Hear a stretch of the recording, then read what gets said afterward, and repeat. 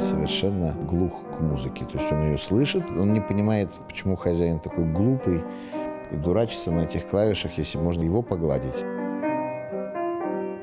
Я, в общем, давно хотел завести собаку, но по разным причинам, прежде всего связанную с моим графиком, я все как-то не решался это сделать. Но, тем не менее, я много думал о том, какую бы я хотел завести собаку, если бы я принимал такое решение. Получался такой портрет Берга. Такое ощущение, что там послушали, записали, какую я хочу собаку, и вот в точности такую прислали. И по виду, и по характеру, и по всему. Он вообще ведь сам ко мне пришел. Это было в Сочи. Мне э, с моими коллегами пошли ужинать. Пес пришел и сел рядом. Ну, сел, сел. Мы продолжаем ужинать. Уже время за полночь. Уже ресторан скоро будет закрываться. А пес не уходит. Я спрашиваю официантку, говорю, псина сидит. И...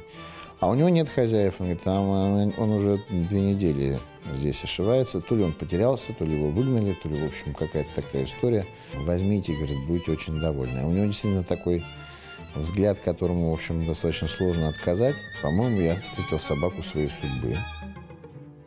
Он за две недели до того, как ко мне прийти, он мне приснился. Мне приснилось, что я стою на автобусной остановке какой-то, и, значит, там за мной вязался черный щенок. Он был, конечно, гораздо меньше, чем Берг, вот, и, который русским языком человеческим сказал мне «возьми меня».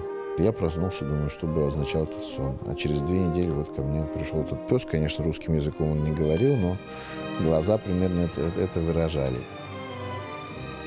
Я сразу понял, что пес этот появился не просто так. А потом у меня через буквально несколько месяцев после этого умерла бабушка, которая для меня была на самом таким человеком, с которым у меня была самая близкая духовная связь с детства. Ей было 90 лет.